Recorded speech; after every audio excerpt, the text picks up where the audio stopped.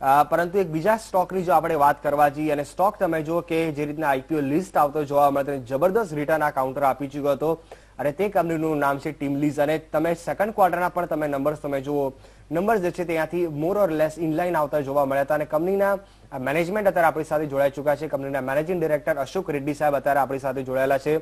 Sir it's good to have you on the show Sir, if you can just uh, take us uh, through what are the, your numbers, sir, and just particularly just want to understand about the margins, sir. If you can just give a guidance on the margins of the second half, because we have seen that the uh, margins has been uh, little bit has been uh, hit. I mean, the uh, your revenue has been increasing, but your the profit has been also, but the margins has been very much steadily. How are you looking at the margins, and what are the internals of the numbers, sir?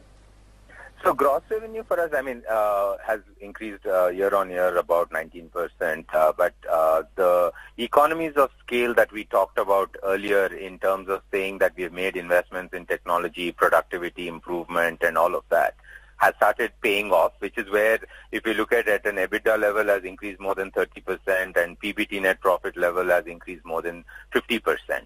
Uh, so I think the continued focus for us would be to drive the element of revenue growth will be to get the economies of scale and get the element of margin improvement as we go forward.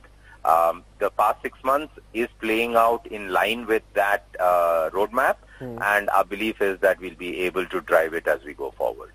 Okay.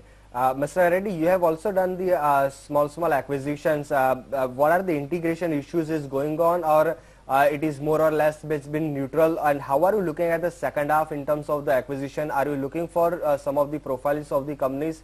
Are you looking to buy out or and which segments are you more focused right now?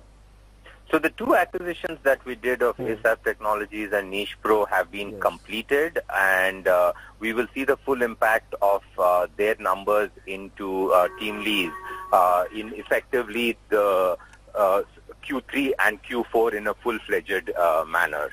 Uh, so I think as we go forward, uh, the integrations have been completed. Uh, the team is working together, and I think uh, the consolid we'll use Q3 as a consolidation phase, but you know the numbers will start showing up uh, in our books uh, in Q3, Q4.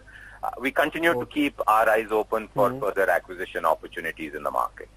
Okay mister Reddy thank you so much for taking time and talking to us એકવાર quickly અત્યારે team લીઝના stock ઉપર તમે નજર કરી લો. સારી અત્યારે એક સવા એક ટકા સુધીની ત્રીજી અત્યારે આ કાઉન્ટર બતાવ્યો છે. પરિણામ જે છે more or less in line આવતા જોવા મળ્યા હતા. અત્યારે તમે જો થોડી ઘણી પ્રોફિટ બુકિંગ આ કાઉન્ટર ઉપર આવેલી છે ઉપલા લેવલથી પરંતુ આપણા નિષ્ણાંતો અત્યારે આપણી સાથે જોડાયેલા રહેલા છે. દિવસ